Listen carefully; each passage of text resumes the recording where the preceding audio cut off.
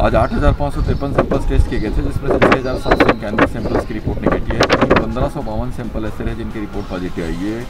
आज का जो पॉजिटिविटी रेट रहा, वो अठारह दशमलव एक प्रतिशत के आसपास रहा। साथ ही अभी कुल, अभी जो हमारे इंदौर ज़िले में कोविड मरीजों की संख्या, वो बढ़ करके अस्सी हज़ार नौ सौ छियासी हो गई है और पॉजिटिविटी रेट क्यूमुलेटिव भी एट परसेंट हो गए हैं। कल के छः डेथ मिलाकर के एक हज़ार ग्यारह डेथ अभी तक के हो चुके हैं और one point two percent death rate है अभी इंदौर ज़िले का। इकहत्तर हज़ार पाँच सौ इक्यानवे पेशेंट ऐसे हैं जो कोविड से ठीक होकर के अपने घरों को जा चुके हैं। लगभग अट्ठासी दशमलव सात परसेंट के आसपास इनका रिकवरी रेट है।